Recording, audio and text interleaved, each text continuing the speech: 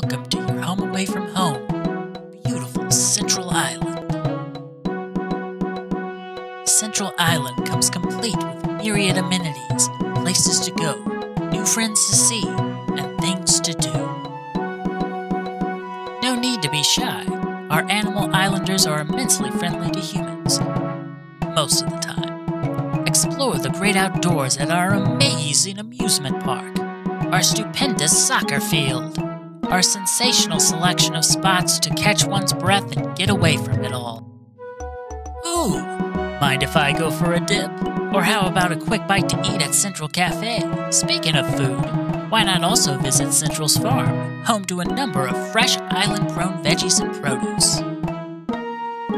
And after you're done exploring Central Island for the day, rest and relax in one of our fully furnished homes. You're invited to wonderful Central Island. Central Island, where fun is central to everything